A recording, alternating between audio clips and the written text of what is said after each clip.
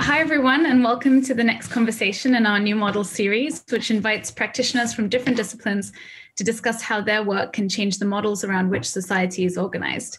Each talk addresses how we can shift power structures, socioeconomic forces, and structural inequalities present in society today to give us new tools to rethink the world around us.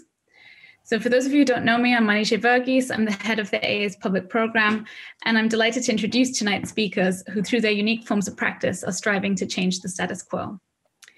Thomas J. Price is an artist based in London. His work across media, encompassing sculpture, film, and photography, is engaged with issues of representation and perception in society and in art. Since 2005, Price has been making figurative sculptures, which function as psychological portraits of his imagined subjects, usually male and usually Black. Price plays with methods of presentation, material, scale, and detail in order to challenge viewers' ex- expectations and assumptions.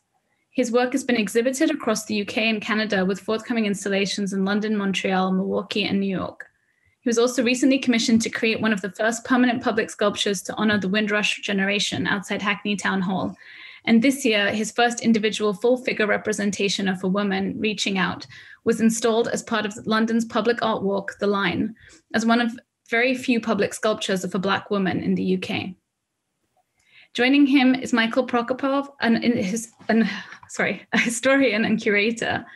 His areas of expertise include material culture, design and architecture, cultural theory, and curatorial practice. He has published widely on aesthetics, craft, and modernism. In 2016, he published a study of a landmark house designed by Canadian architect Arthur Erickson for Vancouver artists Gordon and Marion Smith. And he co curated the critically acclaimed traveling exhibition True Nordic How Scandinavia Influenced Design in Canada. He's currently working on a book on the British artist Hurvin Anderson and a study of the contemporary residential architecture in British Columbia. He divides his time between London and Toronto, where he's a faculty member at OCAD University and he holds a PhD from Harvard University. So tonight they'll present a new model for public art, discussing Price's career to date and his focus on figurative sculptures that celebrate the anonymous or everyday citizen. Recent events, including the toppling of Edward Colston's statue in Bristol and its short lived replacement by Marc Quinn's figurative depiction of Jen Reid, have provoked the question of who gets to author these new works, as well as what we gain by replacing one statue for another. Tonight's conversation asks how we can move beyond recognizing individual achievements to instead empower new and multiple voices through our public art that celebrates who we are as a society today. So, on that note, I'd like to welcome both Tom and Michael to the AA, albeit in this virtual setting. They'll be in conversation for around 45 minutes to an hour, and then we'll open it up to the audience for questions. Um, if you have a question while they're in conversation, um, please just either use the raise hand function um, in the participants tab um, or post it in the chat and I can ask it on your behalf. Um, and also, if you don't mind turning on your camera, that would be great so that they don't feel like they're speaking into a void. But that's just a request if you're able to do so. So um, thank you both very much, and I'll now hand over to you. Thank you so much, Manijeh, and thank you to the AA for this opportunity to speak with Thomas J. Price, uh, who is a brilliant and remarkable maker of images and objects. Hello, Thomas. Uh, Hello, nice Michael. here with you. Good to see you again. And you. Uh, I'd like to start with a question uh, to get your sense of the difference between what we would call public art and art in the public realm. Ooh, that's a good question. So I don't think I've been asked that one like that before. Um, yeah, I, I, think there's, there's a, certainly is a difference um, from from my perspective. In as much as you know, you can have works which just happen to be in a public space, which bear no relation to the the usage of that space, the the demographic of the area. Um, they're they're simply you know occupying a space outdoors. And then you can have work which takes into consideration what it means to place objects for consideration into the public and what is happening in society at that point, who the works will be seen by, uh, you know, etc. So I think there's um, there is a, there is a perhaps a subtle difference, but I think the the effective uh, or the effect is quite significant. Thank you for that. I, I, I like that answer very much for many reasons. And, and for those of you who are joining, you will notice there's an image of uh, Thomas's most recent uh, work. It's called uh, Reaching Out, and it's in uh, East London near Stratford. Uh, it's nine feet tall, which you might not get a sense of from the image with the foliage around. Uh, and it's quite remarkable. And Thomas, if you would just talk a little bit about this work, how it came mm. about, and your thinking behind it. Yeah, well, I mean, so I've, I've been working with figuration with the, the human form for quite some time. Um, but I, I, came into it from uh, a very much a conceptual, sort of abstract uh, way of working. Uh, I was really, or I have always been really kind of fascinated by sort of the inner workings of our minds, the, the how the the unconscious connects to the conscious, um, how things that we're not you know necessarily aware of consciously affect our conscious actions. So our how these inner spaces that we all exist in and, and carry with us actually have such an impact on the the external and you know the societies that we live in. Um, and for a long time, I was working with imagery around black men and what it meant to be, you know, a, a black body in space, a very specific kind of um, presence in space, given the real world reaction to black men in society. And it's, you know, not just in the UK, but in the States. And it seems like, generally speaking, in the Western, uh, Western world, there was this sort of a very particular way of, of, of being received. Um, so, you know, I, I, was looking at art history in terms of, you know, who, who is represented uh, in statuary. So these are, you know, these are, these are sculptures. These are sculptures about statues. So these are these are artworks about how society has chosen and decided to uh, represent physically um, the, you know, the the good and the great, those who should be looked up to. Mm-hmm. You know, it's, it's like a reinforcement of the visual kind of markers of power, and that you know that's like a the visual reinforcement of of the structure of power. And so my first efforts to kind of critique that was to first off actually to look at the scale. So I started off making very small works, which were the sort of they weren't an anti-monument. They were just the sort of they were to highlight f- via contrast um, what it what it meant to be powerful, what it meant to to carry power, to emit power, um, or to to emit some you know, value and status, and at what what degree. So um, the the, the first ones were it was a small head and uh, and to critique the idea of portraiture. Know, so we've got monumentalism, statues, and you have portraiture. On the other hand, you know, this idea of representing specific individuals who uh, warrant the sort of the high um, praise of a portrait, or have the money to to commission a portrait, or you know, society decides that they are amazing and need to be celebrated, and so they create these portraits. Well, I I went about critiquing that by deciding to to basically reject this idea of individuals, this, idea of individual achievement, this idea of looking up, almost looking up the food chain to, to who we should value. And I, I made uh, fictional characters based around almost around um, initially around feelings, around these kind of emotional structures, these emotional armatures, um, trying to recreate within the viewer specific um, emotional states. Um, and so I would use different physiognomies different facial structures and, and very subtle gestures to try and elicit these responses from the viewers. And then it became a process of playing with the the, the responses to those you know via shows via um, criticism via write-ups whatever it was just comments if i was in a gallery space. Um, and I'm, I'm trying to i'm trying to like condense a lot here. But basically i started to i'm still using a smaller scale so i've never worked on a life size kind of scale um, it, I've always wanted to keep the the viewer conscious of this idea that it is a an object. You know, it's, it's not a swap in or swap out kind of representation of a person, of an actual person. This is a this is a sculpture. Um, this is about someone. It's not um, a substitution for someone. and so uh, I started to make figures who who looked familiar to me. Um, they, they, felt like people I would see around either where I lived or where my studio studios have been. Um, and th- I was basically sculpting uh, images of black men in contemporary clothing, but with the same level of care and the same approach, really, as sort of neoclassical sculptures. so kind of looking beyond the ancient Greek, and but looking to like the neoclassical who were trying to like replicate, and so who had decided that these values were um, represented by Greek sculpture uh, and Roman sculpture, and wanting to kind of you know instill that in their contemporary individuals. So I've taken that and put it into my contemporary individuals who sort of um, refuse to take the stance of uh, the kind of the conqueror. You know, they refuse to take the the puffed out chest, the you know all these some things. They they stand very relaxed, as if as if the viewer's not there. So it, it's a, it's a non-performative kind of sculpture in in the in the sense of their their poses, um, and I think that that is in. If I can with that. Hmm. Oh, sorry. You I interrupted you. Sorry. Go ahead, Thomas. No, no, no, no. I was probably just I said, going off on a ramble. If I, ask, if I could ask you a question on that, because I think uh, you know, reaching out is an astonishing work for many, many reasons. Subject matter, the activities of the person, the imaginary person you are presenting to the world. The woman is looking at her cell phone, texting, getting information, as uh, you have talked about.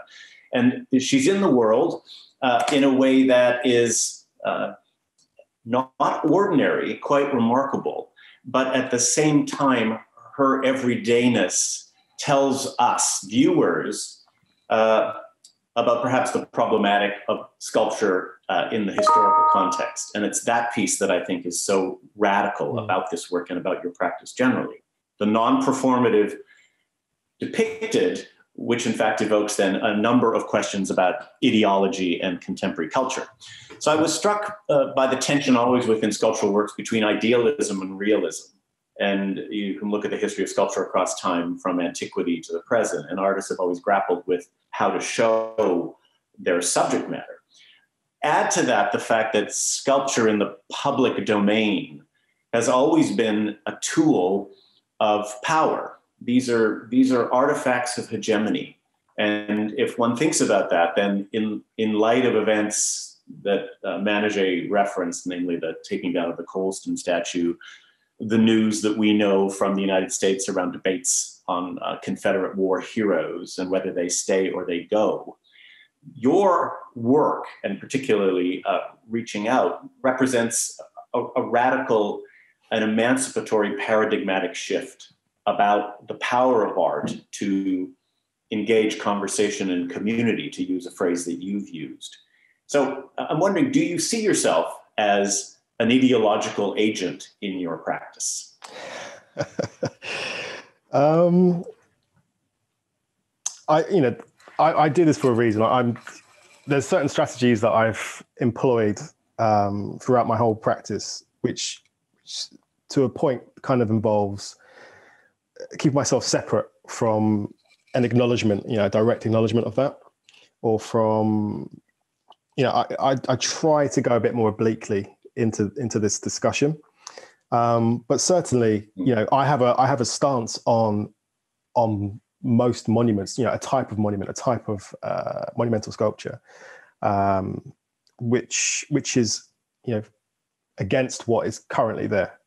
And so the, the these sculptures, these objects that I'm I'm trying to place out into the public, are purposefully the opposite to that. I mean, they it's, it's interesting because you know, th- these things are critiquing monumental monumental statues, um, and yet they are sometimes mistaken for actual monumental statues. You know, within the, so with the same ideology as as those uh, conquering heroes. You know, so um, I, I find it interesting when that that kind of uh, I, I was about to call it misreading, but when when the works are taken in that vein, because I, I think it shows just how strongly we have been sort of um, educated, um, conditioned into you know our expectations, and also you know into our value system. So I, I I'm trying to make people aware of just you know what you know what position we're in at the moment in terms of how we feel how we feel about monumental sculpture because you know as you've said some of these sculptures have come down and what's the first thing that happens? You know, they want to put up another sculpture of an actual person. Um, and I'm, I'm not against sculptures of actual people across the board. I, am just representing one idea or one methodology of, of, thinking, which is about what, what, what if we looked beyond the individual?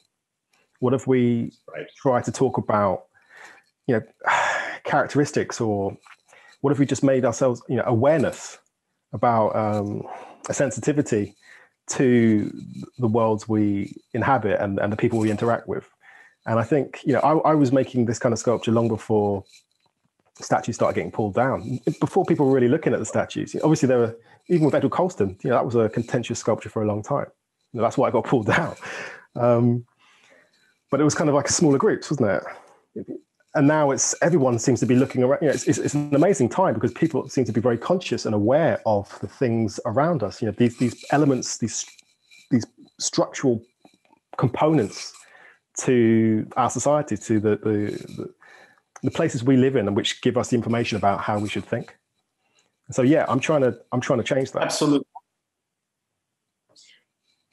So then, uh, in light of that, and, I, and, my question was perhaps a bit unfair to ask whether you were an ideological agent, because all art is ideological, but not all artists seek necessarily to offer some type of um, critique, political critique. Your work is about representation and with that comes the potential implication of a position or a stance. And I'd like to move to that for a minute, but first I want to sort of acknowledge something about uh, reaching out. No plinth, which is uh, such a remarkable decision uh, because of its its implications and what it means. Most most statues that get put up or pulled down uh, sit on these elevating structures that's the first piece. Second piece, uh, I'm always uh, interested in the tension between the word monument and then the word monumental. So one is about scale and the other is about commemoration. Yep. And I think, uh, with your permission, I'd like to move to this question of commemoration because by making the choices not to represent actual people, you are taking not an ahistorical or anti historical stance, uh, but you're inviting a type of collective reflection on society and the complex compositions that make society, as opposed to saying this event, this person, this way of recording. Am I wrong, or is this part of your broad? No, no that's that, that's that's very good. I, I, hope this is being recorded so I can I can put that in a book. Um, no, that's that's exactly what what it is about. You know, it's the, the, sculptures stand on the same ground as the viewer because they are, you know, she, she, as someone described it, you know, she is reaching out. This sculpture is like, you know, reaching out. It's not looking down at the viewer. And, and I think yes. there's a very important dynamic, you know, difference in that, just that very simple, um, you know, way that the, the sculpture functions, or the, the, the practical nature of how it stands, how it is fixed to the same ground that we walk on.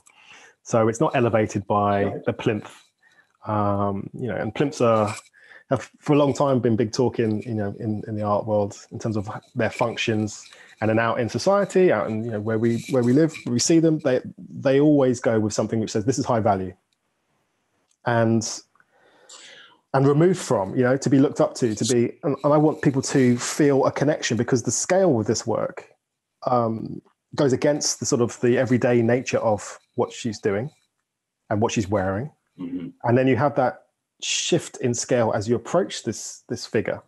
You know, the the the, the right. dynamic changes between the viewer who's seeing something far off, perhaps, and then as they approach this this figure, the scale shifts, and and, and I want people to be aware of that that that feeling, that sense of perception. Uh, thank you. So, with your permission, I'd like to read you something that uh, you wrote came out of the Time magazine article uh, published June 17th, 2020, in the context and in the midst of Black Lives Matter protests globally, uh, questions of commemoration, collected history, contested history. Mm-hmm. And uh, for the audience, if you have not seen this interview that uh, Thomas gave to Time, I recommend it. It's a superb, uh, superb set of thoughts uh, that capture very, very important uh, issues in our society at the moment. You say, if we really want to engage with history, and utilize sculptures in public spaces. To do so, then there needs to be consultation with the public on a case by case basis. We need to get a sense of what people feel. You go on to say, in, in very thoughtful, clear ways, uh, that it's about education. Education in society sits at the basis for the promise or the potential or the absence of transformational change. The broad emancipatory project uh, for equality, anti racism, the dismantling of white supremacy, and all of those uh, attached pieces. Uh, and you, you talk about the UK and the way that uh, it remembers its past. And I'm wondering if we could spend some time on that subject because, in light of the recent US election, in light of uh, Prime Minister Johnson's vacating what I would call an ethical position uh, against racism, the whole proms debate, the sort of ambivalence. How do we, as uh, concerned citizens who want the change that we can imagine, how do we do this in the context of public conversations about art? Oh, that's a big question. I mean, I think honesty is a good a good place to start you know, someone like Johnson who uh, has a has a pretty poor track record when it comes to racial commentary. Um, you know, pickaninnies and, and watermelon smiles, uh, which he then just laughs off and doesn't take seriously at all. Um, and other people laugh it off and and also don't take it seriously because you know he's he's enabled. He has people who make that okay. Um, so he's not held to account. So if we're not you know prepared to hold people to account. You know, Trump's administration around him, you know, they, they haven't held him to account. That's why he's being able to do what he's done. You know, I'm not a historian. You know, I'm I'm an artist, and I I make no claim to having uh, a huge knowledge of history, but I I am conscious of you know the world around me and how people are wanting to maintain certain narratives because that is that is so important to the, their identities and it's so important to their kind of essentially their level of comfort and um, and I think you know, I'm talking about levels of comfort, and like I, am used to not being comfortable. You know, I, so I think there's this idea that this that everyone should just feel comfortable, and and I, I think particularly if if you're within a, a majority population, you know, who have been in power, so particularly you know, straight white men. Um, you're kind of used to feeling comfortable in most social situations. Okay, there's different um, personal situations that can everyone feels. But generally speaking, you know, the, the world reflects, looks, you know, is made in your image, and so you know these statues like Churchill, which are protected by groups of men out, you know, standing out as if as if they're going to be prime targets for for these crazy left wingers, you know, these radical left, as, as Trump would say. Um, I don't know. It, it kind of it, it, baffles me. Um, well, it doesn't baffle me. It, it, I'm just tired, basically, of it. I'm tired. Um, I, I think we need to be willing to make real change. Like again, you know, I don't use the word too much, but this performative element to what's happening at the moment or what has been happening. This idea that you can put a black box. This idea that you can like stuff put up on Instagram by black artists or black writers. Okay, that's fantastic. I mean, I don't know why it takes you know the deaths of many uh, black people to, to, for that to happen, but I, we, you know, if, if if people generally want change, then things have to change, and that's going to involve people's lives also having at least a small little change. You know, at least having some sort of effect or knock-on effect. Probably gone off. So you know the Thank you for that. You know, the title of this conversation is a, a new model for public art, and and it's a very nice phrase, uh, but within it is a very s- complex set of relations, social relations. Really, what we're talking about is a radical new model uh, for society, uh, a visionary way of creating community. Public art, your work, for example, uh, provokes, stimulates, encourages uh, transforms people's ideas about selfhood, about society, history, perhaps. But only some people. I mean, I'm reminded uh, in the wake of uh, Trump's loss, uh, Professor Eddie Glaude, professor of African American Studies at Princeton University, asked the question. He said, it, it, It's good that Biden has won and that power now may shift towards uh, a more reform minded uh, and inclusive model of governance in society. But he said, I am vexed to know what the 70 million people who voted for Trump actually thought they were supporting. And he went through a list. He said, clearly supporting white supremacy, misogyny, bigotry, homophobia, uh, mocking of the disabled. Ultimately, Glaude said that these people are so vested in what they see as their position in society being challenged, if not eroded or stolen. And I think that that is centrally important to the premise of a new model for public art or the radical remaking of society, which I think your practice uh, raises as a possibility. And I'm wondering if we could talk about contested histories for a moment. Because for every person who is transfixed and transformed by your work, there are other people who would say, don't take that Rhodes statue down, and what they did to Colston was a crime. So yeah, they, they, they email me. Trust me, I know they're there. I, I, I, get I get the uh, messages. Um, absolutely, uh, but really, it's who, who, am I? You know, I, am trying to reach the people, reaching out to the people who are willing to listen, and hopefully, the you know some of the people who are willing to listen are then willing to act and and hopefully some of those actions will then lead to you know uh, small changes. And those changes you know exponentially it goes on. And that's that's really as an individual artist all i can really hope for you know try, trying to manage my expectations.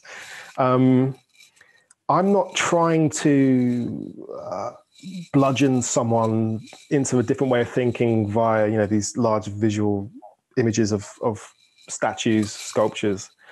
Um, i'm sort of I'm trying to engage people who are willing to to engage, and sometimes people who initially not over time change their minds. And, you know, you know, this kind of time on target. This idea of have if you have enough contact with something, um, you get to consider it over a longer period of time. Um, you know, the, the, one of the things I wanted to do with the using um, figuration, particularly of black people, and, and in the beginning, particularly of black men, was to make a, well, there was two twofold really. It was it was to make a wider society feel more familiar with that imagery and to to in, and to encounter these images in spaces and places. So, namely, at the beginning, it was art galleries where they felt safe and where they could look at these images in a, in a sort of more contemplative way and you know the kind of um, as art objects, as high value, as all the things that are contained in, in gallery spaces. And then when I started to move it out of there into the public realm, it it amped up the um, the the ante of it. Basically, it was you know you're suddenly you're you're in up you're in someone's space. You know this work is now in their realm, and they're going to take a much different uh, view on it. Some people who wouldn't have a view or who would never step into a gallery, suddenly they're seeing this thing. What is that thing doing in my world? Um, and why doesn't it look like the things that I recognize? And why is it not doing the thing? Why is it not looking like the thing I expect to see and that I'm comfortable with? You know, and I, am you know, you've mentioned just then about people feeling comfortable or being invested in their own lives. You know, I mentioned it earlier. I think it, it, it always amazes me just how much emotion and how much um, passion, good or bad, um, a kind of a deviation away from the, the expected can can bring out people particularly when it's something which is sort of in the public realm. Um, and something like you know the, the, the, sculptures that I make, the thing, the reason I'm smiling now is, is that they should be they should be normal. They should be, you know, like they're, they're, oh wow, I wonder what they're thinking because I actually started making these from a humanistic kind of point of view when it was about the emotion, like I said earlier. Um, and for the the first commission I, I, I had of one of these smaller figures, um, I'll shorten the story down massively, but essentially, um, it was rejected at the very last minute because the commissioning body decided that the sculpture, which then turned into a nine foot version of a man holding a mobile phone network, that, that sculpture was deemed um, to be likely to be um, seen as a rioter by the press in the UK. And so therefore they couldn't they couldn't show it. And, you know, but they never told me that directly. I got that from a different contact. But um, you know, this is what I was dealing with. You know, these are the things that were like in the back of my head, you know, as as a black man, as an artist, trying to make work about society, make work about perception, make work about what it means to try and connect with people, about empathy. And and ultimately, you know, having confirmation that this imagery, which was actually based on myself, um, was seen as criminal. And um, yeah, I mean, that, you know, as a starting point. Criminal, criminal in the minds of people who have values that are often not considered. I mean, one of the things about the construction of the, the bottomless depths of Western racism and white supremacy is where cultural constructions, the determination of something, becomes naturalized. And if we're talking about white supremacy, which I think is at the core of this conversation, uh, hundreds and hundreds of years that have legitimated white power, white violence, genocide against people who don't look uh, like the conquerors uh, and those in positions of power on their equestrian statues in parks throughout the Western world. And so to, to challenge people or to invite people to consider their subjectivity uh, often provokes remarkable outrage and anger. And I think we've seen that in the US election, to go back to that with the supporters of Donald Trump, who just are just beyond themselves at the thought that somehow they're being challenged or that their values are suspect. The people, the people who defend Robert E. Lee remaining in Richmond, Virginia, because of what he represents. And as we know, when you say to someone, well, what does that statue represent to you? People will say, well, history, tradition, all of those things. Hmm. And that's why I think your, go ahead. If I, were you going to say something? Oh, Thomas? no, no, no. I, sorry. Probably, I just, I went, mm-hmm, so they probably jumped on me into the mic. No, yeah. I, I, was, I was listening intently. Well, so I think in, in, in that sense, you know, the idea of uh, a new model for public art, not to repeat myself, but to re-emphasize or emphasize again the fact that what we're talking about is the possibility of a profound reconfiguration of values. And it comes back to my mind about your insightful comments around history, how history is taught. Uh, I was thinking uh, in in looking so forward to talking with you about the work of uh, David Olusoga, who you know has uh, spoken about the construction of uh, British culture and British racism.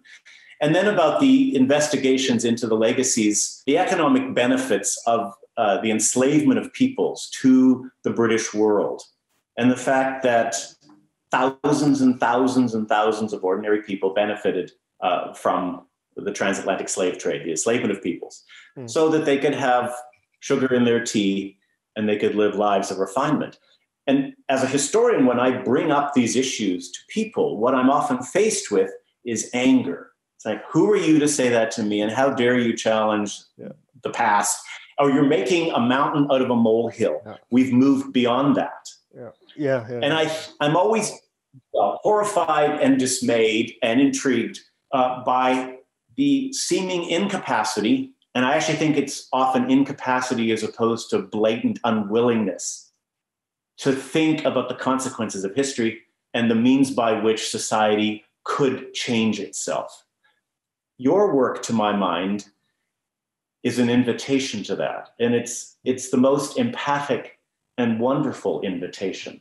And i think you, your strategies of not not talking or showing specific people it's a brilliant it's a brilliant strategy for new public art and so uh, maybe you have some thoughts on that yeah i mean well you, you say it very eloquently um, yeah, it, it is. It's new strategies. So, I mean, I, I mentioned a bit earlier. You know, like the, the figures that I make, these these abstract constructs, you know, which are aimed at trying to create a feeling within people and to make people aware of what they normally see. You know, they, they reject, as I said, you know, this this this heroic, um, because I, you know, I don't want to. I'm not trying to say that. Um, okay, tear down all the sculptures of uh, slave owners, uh, of people who've you know uh, colonized and and crushed whole peoples, um, just to replace them with, I don't know, uh, black and brown people who have their own histories. You know, which might be uh, we don't know exactly what the histories are. Do you know I mean? There's, there's always going to be some sort of problematic element somewhere. Um, I, I think, and by doing that, you know, by sort of my rejection of this, this that kind of normal hierarchy, it's sort of like rejecting the the the kind of the tried and tested or the understood you know routes to to power or to success or to money you know what people you know mm. i think and and that affects not just it's not talking about white people that's just talking about people um and, and i think you know when the edward colston statue came down and something else was put on you know that for me fell into the trap of well there was many things that i had a problem with but that that fell into the trap of trying to use a single person as a representation for for everyone, um, like an actual person, um, and it just mimicked. It was a mimicry of. In my, you know, for me, it had a sense of mimicry of mm-hmm. uh, what had come down, and it, it instilled the same values. And the fact that it was made by someone who has benefited directly from those values and from those histories was the the salt in the wound for me. And and I think so on the, on the surface, absolutely powerful image, great. But, but you know, walk along that path a little further, and where do we get to? What are we What are we then doing? We're just putting up the same same things um, without looking at. You know, it's, it's, it's papering over the surface. So I, I want then to go back to uh, something you said in the Time magazine around the idea of talking to people and trying to get opinions and a consensus perhaps about w- what type of um, objects, sculptures or objects that would exist in the public realm and the subject matter. Well, absolutely, easier said than done because, uh, you know, I would say that we, we've seen a wave of populism sweep over the West and the non-West in terms I don't like, but I'll use it. Uh, and you know, you think what's at the core of this groundswell of opposition to center left radical change? Well, insecurity, anger, disorientation, whatever it might be. But by your account, if, if there were a way of uh, finding out the opinions of people around what they would like as objects in space, sculpture, mm-hmm. could we talk about that? Because on the one hand, I think that's beautifully utopian. Yeah. On yeah, the other yeah, hand, yeah. I think I I, am not really, you know, I, am not as naive uh, to think that uh, we can go around and have a survey, um, get, you know, everyone can say the objects they want, uh, and then we create works in the public, which then, you know, make them manifest. I mean, I think really what I'm, I was, and what I am talking about is, is listening to a wider sense of the the, the potential, the op- the options that are available. You know, um, instead of just simply going right. So who who else famous? Who which famous black person can we put on the statue instead? Right? Like I think there's absolutely a, a place for that um, when these sculptures are, are being replaced.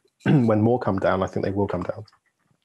Um, but I also think that it's, it's incredibly important that we do use this as an opportunity to to make concrete, to make physical this this uh, the possibility, the the, the intention into action of change, of of looking at what we value.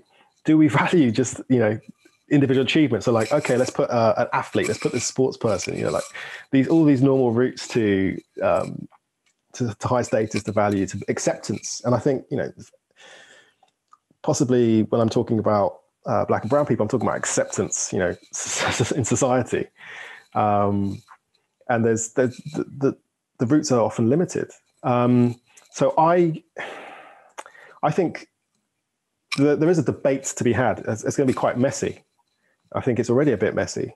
Uh, people are, you know, people are going to be upset because, like I said earlier, these things, these objects, these sculptures, they, they, they sort of are they've been distilled a lot of their all their feeling and their security and their identities into many of these objects like churchill etc and it's i think it's always easier to maintain a status quo to maintain a situation yes change is can be exciting but it's also very scary and if you you know there are people who feel like they're only just keeping their head above water so what where's their energy going to come from to to suddenly you know look at history again you know, there's, there's so many la- layers to to people's resistance to change.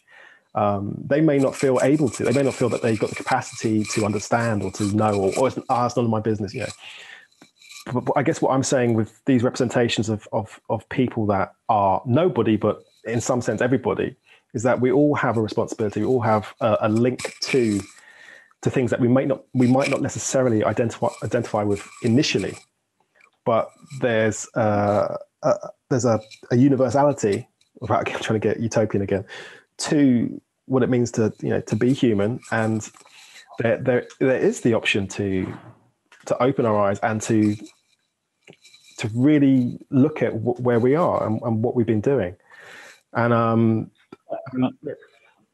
sorry michael. I agree with that. I was thinking uh in in in what you were saying about the tension between uh, representation and the imaginarium and and your work as, I, as I've suggested, I think is inspired because it seeks a composite of people and it's not one specific person, it's every person or every woman. And that's powerful. And I was also thinking at the same time, uh, if you know the, uh, the sculptor Rodney Leon, American of Haitian descent, who was the designer of something called the Ark of the Return. Uh, it's a monument outside the UN in New York City that uh, pays homage uh, to the millions and millions of enslaved Africans in the Middle Passage.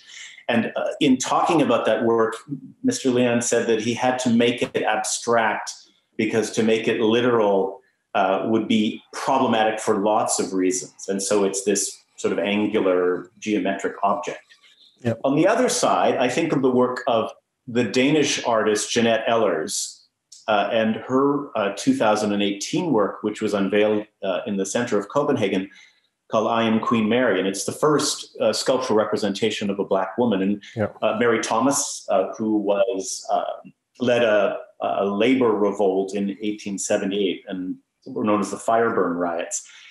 Lots of negative reaction in overwhelmingly white Denmark to having this piece of sculpture in a very prominent place depicting a Black woman.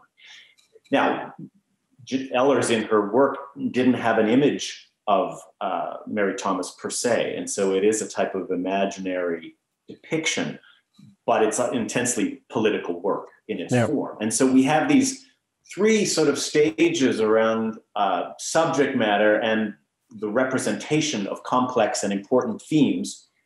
And I would say your work has found a, a very important thought around the raising of ideas, the inviting contemplation about history and contemporary society, and to use your word, the invitation to empathy. Born of empathy, yours, but the invitation to empathy. And if there's anything about a new model for public art, it's the capacity of empathy to change hearts and minds. And uh, yeah, I think that's very well put. Offer that up well, I don't know if there's anything more to say to that. I mean, I'll just start giving you a little clap. Um, that's yeah, that's fantastically well put. Um, it's, it's as I said, it, it, it's trying to find almost that common ground with the undercurrent. You know, that kind of thing that can connect us all and draw us all into having a sense that this is worth doing for a start. You know, I, I, perhaps it's a lot of people just think, well, what's the point? I don't know, like. Um, if you're, if you're trying to create inertia, if you're trying to move someone from a position of you know stasis or, or rest, or it, it, takes a lot of energy, and and you need them to be willing to, to to come with you. And and I guess a lot of my work has been trying to find ways, strategies to make people willing to start to move. So that is like references to classical sculpture. That's the the level to which you know they are rendered, made um, the, the, these kind of you know the, the, sugaring of the pill to try and get people to swallow so that they can you know experience some sort of internal change. Um, so yeah I, I, mean i love that yeah the, the invitation to empathy is exactly what these are because if you can start to see these sculptures these representations of imaginary people as human as as the same then that might create this willingness to, to movement, you know, to move, you know, to, to create action in individuals, or even if that is just the the cessation of resistance to change, you know. So the person themselves might not do anything, but they might stop, you know, trying to hinder someone else from doing something. They, they, you know, whether that's verbally, you know, mentally, um, you know, they, they, they might just be willing to to see what happens initially, and then and then join in when they realize that it's not going to destroy their lives. Recognizing someone else's uh, value or recognizing someone else's um, as human or as as complex as as they are. You know, um, so I think within these sculptures, I'm also trying to just on a humanist level make us aware of the complexities of, that we all have, um, and yeah, it's quite hard to not get utopian about this, isn't it? Um, you, you're, you're you're a very with a gentle heart, and and you're a good person in the way you phrased. You know, I uh, I think there has been an, a profound inability for white people in in the West and in wherever white people go to confront the actions of whiteness against non-whiteness and the constructions of what are presumed to be legitimate and lawful and correct ideas about identity and relations, social relations, about power, about wealth. And as a result, I think the, the angry responses that we often see reveal the, the level of terror and insecurity that people feel when they think that the world they know and that they can imagine not possessing could, in fact, change. Should change, will change. The inevitability and, uh, of it. That, that correct. Mm. Correct. Mm. Uh, it's, it's, fair. It's fair. Any comment? I'm sorry, say again? Well, I said, do you have any comments you would like to make? Uh, I, I, have other questions, but I think at oh, this point. No, no, no. Let's, let's, let's carry on. You. I think I think you've that was yeah. I think that was good. Well, I, I might offer one anecdote. Just so I'm I'm in Vancouver, uh, Canada, uh, sitting uh, in a you know townhouse of a friend uh, on what's known as the unceded lands of the Musqueam Nation. So most Indigenous peoples in Canada did not negotiate treaties with the British government to cede land. But society that grew up in the colonial and national state exists on Indigenous territory still, but without any legal transfer. And I remember once I was uh, talking to some colleagues about the land acknowledgement. So in Canada, it's customary to say, welcome, we gather today on the unceded lands of the Musqueam Nation. And I had a colleague, white colleague, come up to me and he said, I'm so sick and tired of these land acknowledgements. And I, and I said, you know, why are we doing this? And I say, well, it's very important to recognize the consequences of history, history itself, the consequences of history in the contemporary frame. And I said, the question that I would have for you, this person who was quite pissed off at my land acknowledgement, I said, how do you account for your privilege? Mm. And he said, I work hard. And I said, okay, fine. You know, everybody, everybody works hard. And I said, but we're actually talking about deep, deep structures of history that have been managed, formed, regulated, defended, that have resulted in a world of profound inequity, violence, genocide, anger. And I said, so your privilege, you may think is simply because of the sweat on your brow, but in fact, it's about complicity. And I do think that we should all be mindful of our own complicity in a the structures that perpetuate inequity and violence and then we have to think about our own agency that can and i hope will bring on the profound uh, change that we we seek as people back to the empathy. Absolutely. I mean yeah totally. Uh, I, you know, th- th- I've got many anecdotes where you know I've met people who think it, as, as your you know the person your story describes, it's all down to their hard work and their you know innate genius that they've they've got to where they are, and they just you know whether it's economic, you know, oh my parents just happen to have, and then you know they name so much you know kind of property and investments, uh, the ability to travel, the you know the access to things. Um, right. You know, society is not fair. You know, we, we're kind of brought up thinking that it, we've been told it is to, to an extent you know, look at all our films and all the narratives, you know, this idea of the American dream for, you know, it's just, it's a nonsense. Um, I, it's, I don't know, but we, we got well. Sorry, Karen? I'm going to go back to public art. I, yeah. I, I, think I've told you the anecdote. Uh, when you had the Numen heads uh, in Regent Park, uh, and if the audience don't know this, you, your three remarkable large heads of black men at different ages on plinths. Those are head sculptures on plinths. And I remember seeing a family, uh, black family, and the little boy was pointing at one of the heads saying, Look, mommy, it's me. Yeah. And that was a profoundly moving moment because, as we have talked at other points in our friendship, uh, the idea of Black representation in the public realm is phenomenally and problematically rare. It's, yeah. And that's why I think there's an image in the slide deck. There's a, there's an image where one of those those heads that you talk about is being installed in Sculpture City here in London, and um, this there's two families with their children, and they these kids just ran up to the piece that had just been installed, and they were touching its face, and and I think one of the the young girls would be like, you know, there there we are, or here we are, you know, when it's, they saw it, and it, it yeah.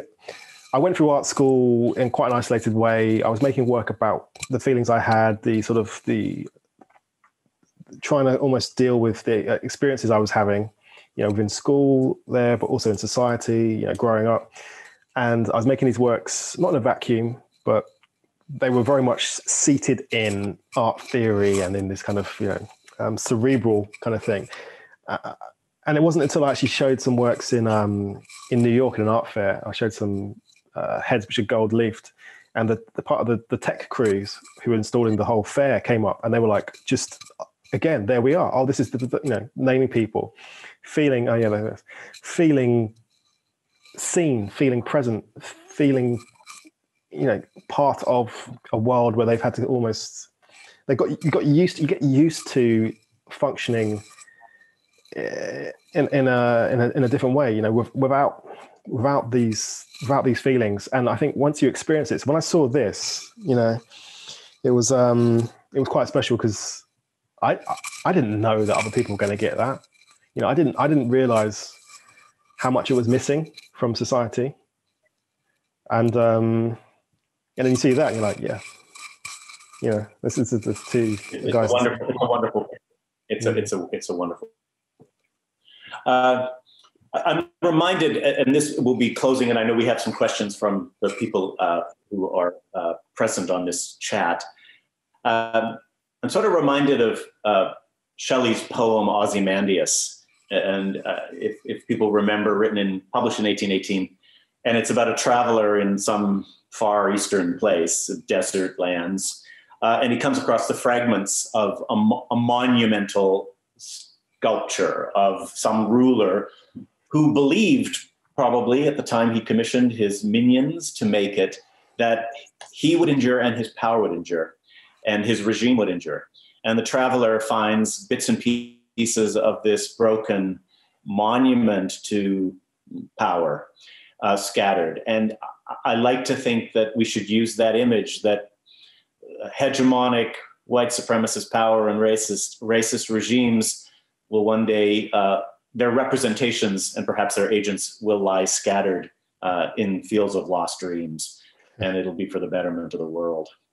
So, thank you, Thomas, so much thank for you. That's brilliant. taking the time for your remarkable work. That's a real pleasure. pleasure. Thank you. Thank you.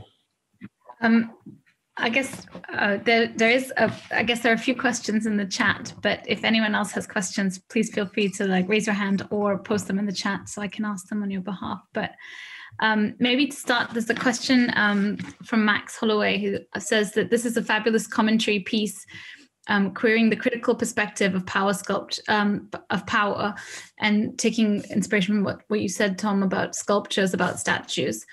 But isn't commissioned public space art actually part of that privilege process? And surely granting physical site access is part of the power procedure. How do you think society can break those controlled networks? And is the art world ready to divorce itself from the corporate game? Mm, yeah. I mean, yes, it is. Um, but I think by opening up access to more people, to different types of people, is one way of of creating a different structure. I mean, you get different voices, different experiences, um, different visions, opinions. You know, this this is the way to um, to at least try and um, round out what's happening, to, to, to give more insight into the worlds that we live in, you know, into society, um, more options to in, in terms of how we represent it or, or, or what we draw attention to. Because I think, you know, sculpture, particularly public sculpture, is, is quite elite. It's, you know, it's elitist because it takes money. You know, there's a lot of money involved in making something of a reasonable scale. If we're going to look at monumental as terms of a scale, um, I, I, don't believe that all outdoor sculpture has to be large, but for, for the most part, it, it tends to be. So I think this is the issue I partly had with um, the replacement to Edward Colston that happened. It was it was sort of framed in a way where it was a big change and it was it was going to be um, so different to what had come before, but it was actually the same people making it, same people choosing it, making it, and profiting from it. And I think if we can open it up to new voices, to um, wider discussion, then I think there's a chance. Um, you know, I haven't got solutions. I've, I've, got ways I think, you know, ways of moving forward that I think will, will perhaps lead to different outcomes, um, but they're not going to be perfect. But you know, what is? Um, there's another question from the audience. I'll just unmute Castania. Thank you. Hi, thank you so much for that. I wanted to ask you, like, what is your position on the temporality of a statue of a monument? Because, like, I believe that statues age as a piece of art more than as a sculpture. And when probably all of them were intended, like, to preserve certain memory or certain recognition to someone. And I believe that with time, I like that memory gets lost in the way. I mean, like we are right now, we are fa- we are facing like many racial issues, but hopefully in a hundred years we won't have that. So, what will be like the role of these sculptors? Um, I, have said before that I think almost all these individuals have kind of built-in sell-by dates in terms of you know things will things will change. Our our understanding, society's understanding changes. The object stays static. Society for a good part kind of moves on. And so, yeah, the original intention or the original uh, context for that individual changes. And then it sort of becomes steeped or molded by um, uh, this sort of gradual process of building up legend or building up a story, a narrative for what it is, or attachments by certain people to objects um, or to representations of people. Um, and that's uh, that's why I try to resist making individuals, actual, you know, literal representations of actual people that exist, because I don't want to get tied up into this idea of the imagery or the excuse me the the public image, the persona, I guess, of what these people are and how persona is used for political gains or ends. Um, and is often just as fictitious as, as you know, in fact, more fictitious than the, the, the characters I create, because at least I start off acknowledging that they they don't actually exist, you know, in the in the real world. Um, I think this idea of provenance, you know, this if Ozymandias is, you know, this if this these fragments of a sculpture are pulled up from the ground one day, you know, people are going to give it an identity. They're going to say this is who it is, and it's it's probably going to be indicative of or representative of the values that they have. You know, like when I was in Rome and they were, you know, I saw lots of these sort of sculptures which have been almost like these Frankenstein's pushed together and the experts in air quotes, you know, had said this is who it is. It's it's it's Mercury, and you know, and you got this huge torso, tiny head, sort of you know, kind of filled on, because we want to give definitive answers. We we, need, we want we like certainty. Um, so I, you know, I try to make my works that are figurative in a way that um, doesn't um, tether them to someone's actual history, but allows them to to move with uh, you know, how society moves. But um, you know, I, I I I don't know. It's an interesting question. Thank you. Unmute Rochelle and then um, Karen. One second.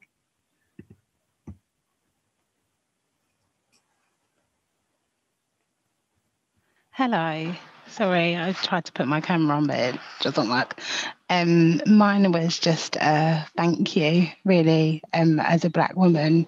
Um, when I saw your piece, Thomas, it, um, it was great to see myself um, for once represented. And I think as black people, um, it's only recently, obviously, after everything that's happened, that we have been allowed to speak and be heard in some way. And so to see representation is amazing, but it's also um, sort of highlights how much work has to be done, especially when you see the recent things of like people outraged at Sainsbury's doing an advert about black people yeah. and and and the racism and the comments that have come out of that have just yep. been um, is, is it shocking? I don't know. No, I don't know if it's shocking at all. Yeah. It, it's just absolutely um, it, it, people like to think that Britain don't have a problem with racism. Yeah. Um, we do. Yeah. and and this kind of highlights it. Hi, sorry, we're still at work. um, yeah, so it was just really a thanks. Um, we were introduced to you by one of our directors because um, you have a piece in our new office space in, oh. in White Collar Factory. Oh yeah. Um, so Network. yeah, so um, we we were introduced to you by him.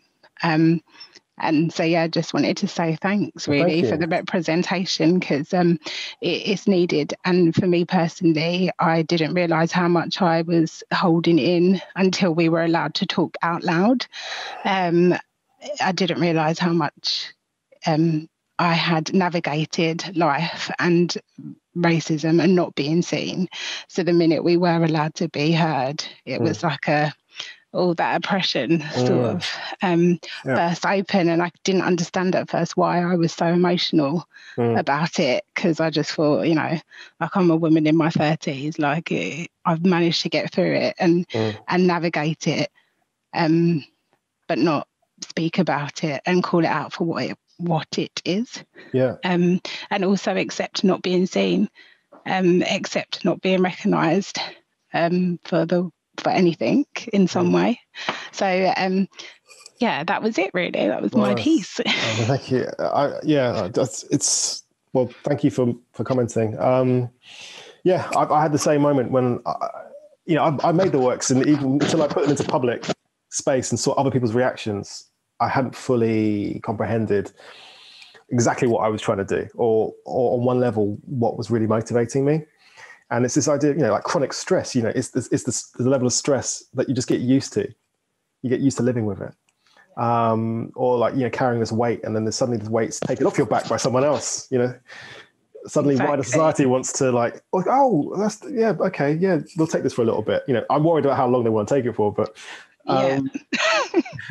this is. This, I think this is why it's so important for us to keep conversations going, and for um, people like you to do this kind of thing. This work is so important because it's it is the part of making a change, and yeah, it makes everybody feel quite uncomfortable. White people in particular feel very uncomfortable, but we've been in feeling uncomfortable our whole lives, um, and had yeah. to try and work out a way to. Um, not let that get to us yeah. um, build a resilience to feeling uncomfortable so yeah. yeah. people don't like it at the moment but it it we have to encourage this kind of work to continue for people to realize that we're not going to be quiet again yeah um, I, I, totally agree it's yeah it's this idea of being you know of, of always being our responsibility to be the ones who are uncomfortable and just learn how to deal with it just you know, yeah you know that is it sounds so small perhaps if you haven't experienced it but it's such a huge thing. It's such a massive burden. You've got to be hyper aware all the time or you've got to be you know consciously suppressing your own you know real emotions and expectations. And there is the expectation that you do that. Yeah. And and with these works you know when i first made um, some nude figures in 2008 i was told what are you you know what are you doing? Like uh, it'd be better. Why? How? Why are they nude? You know, and this is from this is not just from white people. This is from black people as well, who felt very vulnerable and exposed these representations because they weren't necessarily used to seeing it in sculpture, at least. You know, I, I think of Barkley L. Hendricks's beautiful paintings, but um, yeah, there, there is a level of being uncomfortable, and when you when you start to have to acknowledge things, but I think it's necessary. Absolutely. Thank you, Rochelle. That was Yes, thank you, Rochelle. really moving comment. Um, Karen, I'll just unmute you so you can ask your question.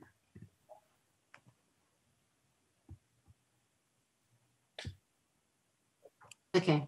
So, well, thanks very much, um, Michael um, and Thomas, for you know what has, has been a very um, you know, engaging and enlightening um, conversation. I just wanted to ask a, f- a few, or make a few comments and ask a few questions around the sort of level of engagement, I suppose, around the difference that you see, Thomas, between engaging with ideas of collective historical memory and cultural memory in relation to the work because I think they're sort of like quite different things. Um, and also just in relation to how much you are consciously trying to engage with ideas, I suppose, of transnational um, histories. And I say that with thinking about Jeannette Ehlers's work. Um, what I think is sort of similar but but also unique about it. One, it's a 3D print and so it's a very it's a temporary even though it's large scale it's actually temporary the danish state hasn't commissioned it as a work that is going to be staying around for a long time which i think is telling I was going to say Uh, something. Yeah. um, equally, it's um, made um, it, it with a collaboration with a somebody from the U.S. Virgin Islands, another artist from the U.S. Virgin Islands, which had been a colony of um, of Denmark. And actually, the visual representation is an amalgamation of their figures that they've scanned together to come up with a contemporary representation of um, of, of Mary Thomas. And so I think what I think is interesting about that process, but also the history. So, so what you're getting is a sort of like a sense of hidden histories. So Danish, lots of people in Denmark and, and me, you know, as a European, um, did, had no idea about the existence of this woman. So you've got an intervention into sort of like um, hidden histories, but you've also got an engagement with a classicism in relation to the formal representations because of where it sits in Denmark, which is actually alongside or very near a statue, a Michelangelo statue outside of, I can't remember the name of the building, and is of scale within that. But it's also using very sort of like very, very contemporary technology to actually deal with those representations. So you're dealing with the triangular slave trade, you're dealing with hidden histories, you're dealing with new technologies, and you're also dealing with, I suppose, that very um, concrete visualization of Black womanhood that's not a no woman, it's very much somebody who has contributed to the historical of the two artists that are there. And I think that that sense of process and enlightenment and engagement on a historical level for me is quite you know not quite is very very exciting.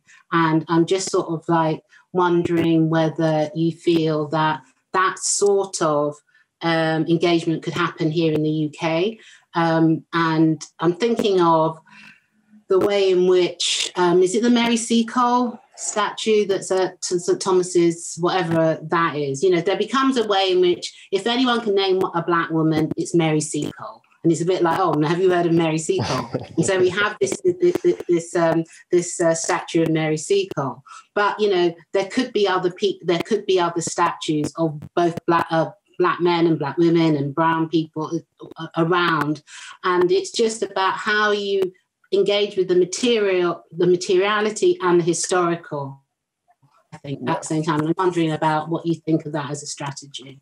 Yeah, I, I mean, long-winded. So no, no, I think that's fantastic. Um, I think the, the the work you're talking about, I I think it's fantastic. I think the way it's been done is really amazing. I think the fact that it was made in a non-permanent material so that it could be removed was disgraceful, to be honest. Um, uh, yeah, I think the artist anyway. So dealing with, with things here, like I've said, I think there is there needs to be a mixed approach. So you know, the stance I've often taken and have taken throughout this discussion has been more to the point of, or in the position of let's not get caught up in literal representations of historical figures because that's all we've had so far. And I'm trying to make people aware of the other value systems that we can engage with. So I, I think it's incredibly important that that is given a, a platform, um, you know, given uh, visibility and given uh, the, the, the possibility, the, the potential to to be kind of move forward. Um, but I do believe, and this is why I talked about education, you know, in the in the Time article, and also you know, Michael mentioned it here. I think education in terms of who histor- who our historical figures are, you know, the real histories, not just the histories that reinforce again, you know, these these power structures, these systems that benefit a few people uh, by subjugating many, many more others, you know, others. Um, I think it's really important that we, we have real education, and and some of the things that have been happening recently here in the UK in terms of potentially outlawing, you know, the teaching of certain elements of parts of Black history. Are, are worrying to me if it's true. That's if that's the attitude taken by the government. Um, so yeah, um, you know, my own practice, I use I use uh, very you know many different techniques. Sometimes I use scanning um, and compositing of individuals. And with the Hackney um, commission that I'll be doing, uh, that's going to be uh, unveiled in 22 on Windrush Day.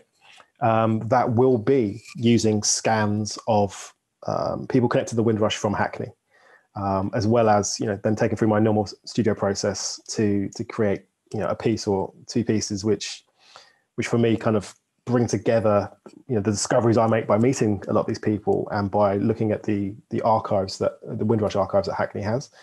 So absolutely, I totally agree with you um, that you know that is an approach that is I think you know very uh, powerful and effective um, I try and utilize it myself to some degree, um, and so I'm, I'm not yeah I'm not resistant to representations of historical people absolutely, but I'm trying to make clear how important I think it is to also engage with and value another way of looking.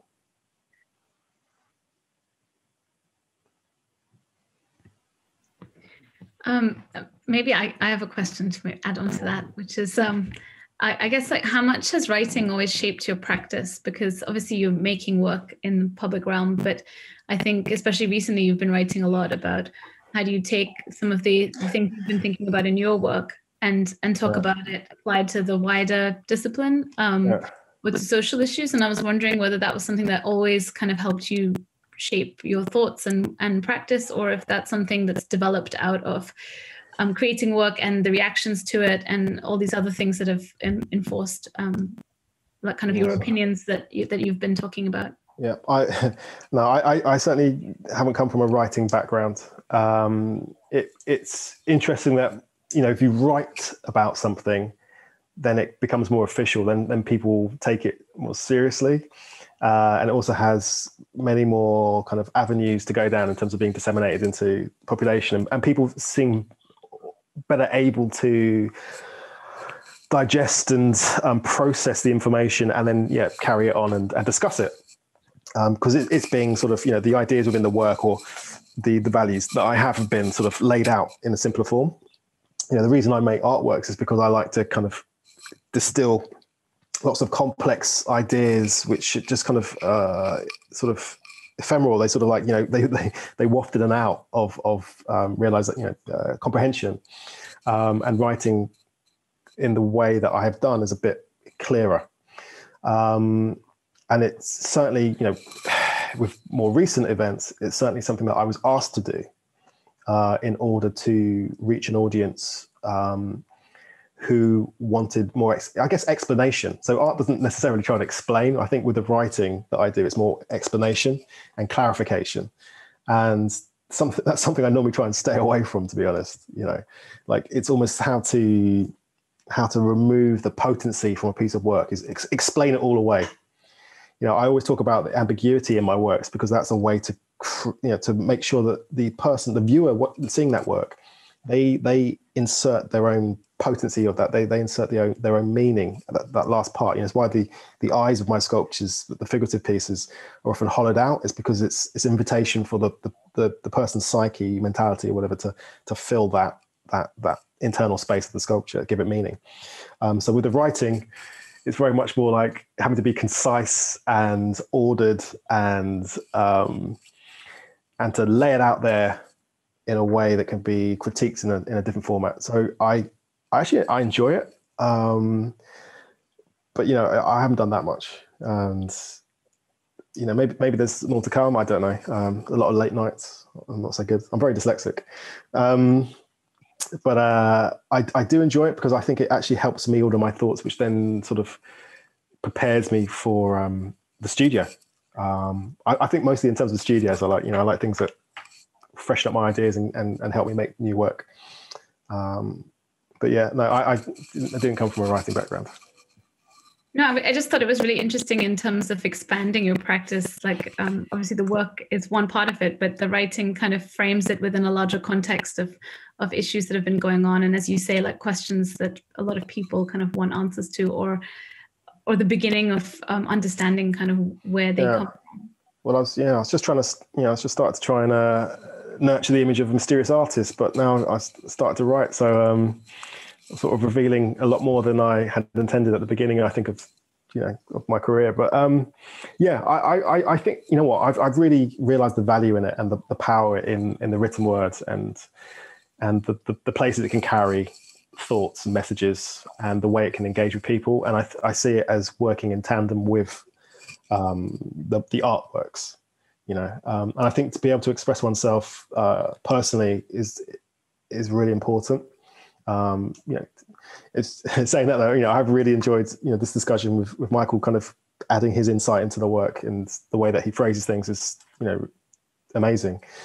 Um, but yeah, I think to be able to express oneself is obviously, you know, important. And I think writing may well become a more important uh, component in what I do. Great. Well, um, I'm conscious of time, but Michael, I didn't know whether you had any uh, final questions for Tom before we wrap up. Uh, well, I, I, have one. I, I, would like to say thank you to uh, Karen Alexander for, uh, for, bringing the factual knowledge about I am Mary. It's very valuable for, for I think everyone, especially me, to have that. So thank you, Karen. Uh, and I thought Tom's response uh, valuable. I mean, I would I would asked the question uh, based on a, a, quotation from Tom. Public sculptures and statues have been used to signpost, to exemplify what power looks like, and to maintain the systems of power.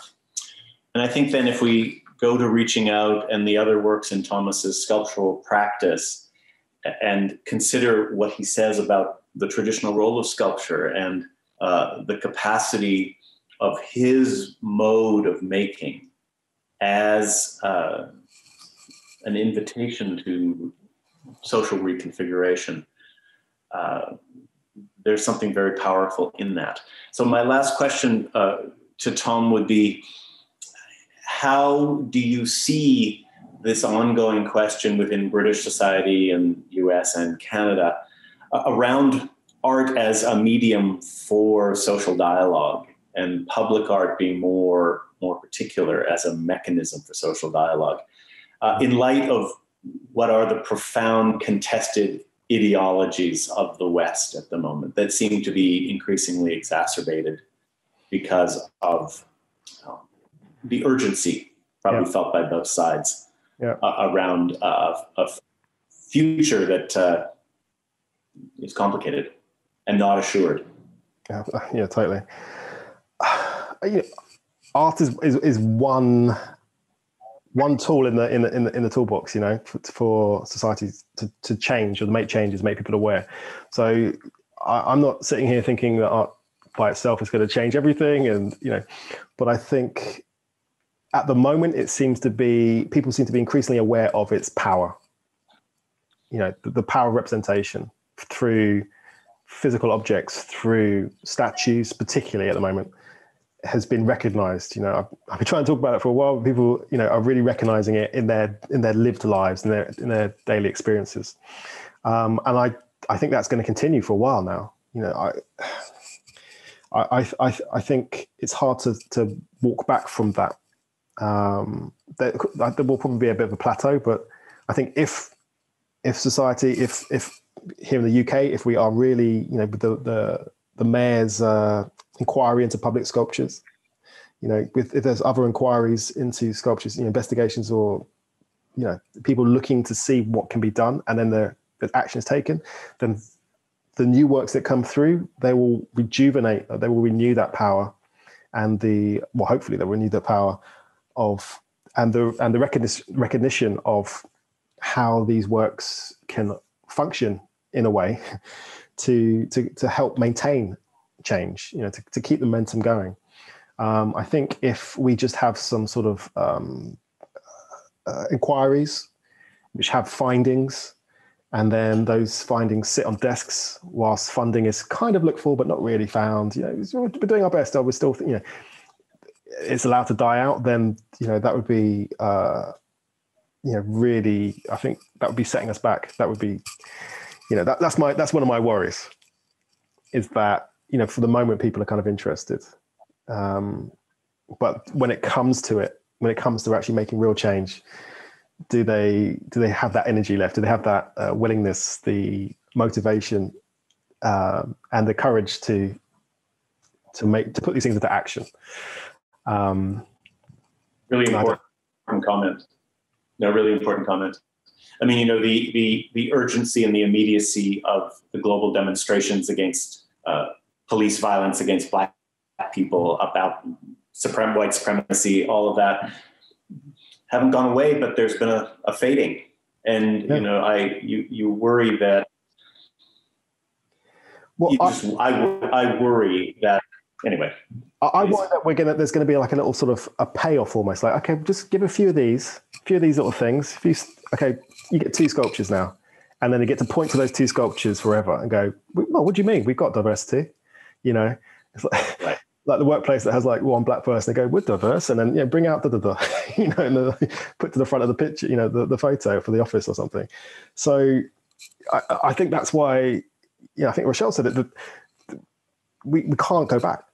We can't let it get swept back under the table. We can't, you know, we can't just take the deal. We got to, we got to be part of making the deal. You got to be part of constructing what that deal looks like not just accepting what is put in front of you. And I think that's what I've been trying to do with my sculpture is to not accept what's put in front of me, but to actually say, look, this is this is what I believe and this is what I want and try and push towards some change. Thank you, Thomas. I think that's a good, um, I guess, motivational note to, to end on. in the hope that that's that's what happens and not, um, I guess, the the alternative, which is that this is just temporary. Uh, I just want to thank you both for a really terrific conversation. I mean, I could have listened to it for another, I guess, 24 hours. but um, uh, I I hope that um, it's. I, I think from all the questions and stuff, I think everyone has really enjoyed it as well. And um, because we're stuck in this weird kind of virtual space, I'm going to try and do a mass unmute so that you can get a round of applause. Um, we'll see if that works. But thank you both so much. And thank you everyone for coming. Thank you, everyone. I really appreciate it. Oh, Thank you, Thomas. thank you.